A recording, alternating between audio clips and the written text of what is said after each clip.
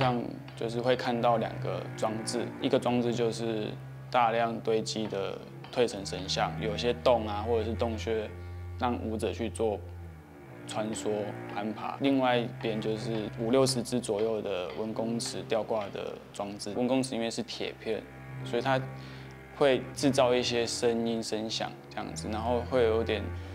白噪音或者是那种嘈杂的感觉，对比就是要呈现一边是已经不是神的状态，另外一边就是成为神之前的状态。这次的元素有一些传统乐，也有西乐，然后你可以听到一些电子的声音，也可以听到原声乐器的声音。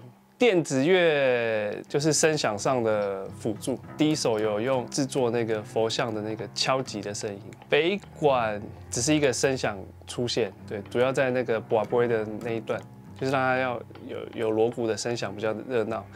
然后比较有趣的是，因为我不想让它听得太像北管，所以我有加了一些西洋管风琴，就让让它有点像教会的感觉。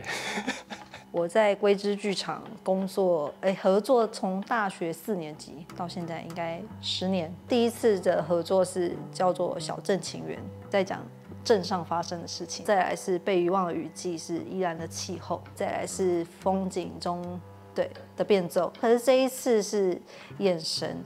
就是从他的他的身份去出发的话，已经不是宜兰这个大的区块，而是他字体的本身。它是一个内在的创作这件事情没有标准答案。那他要怎么样让他看到的东西被观众看到？观众可以在他的创作里面得到什么样的答案，或者是救赎、寄托，或者是不要那么执迷不悟。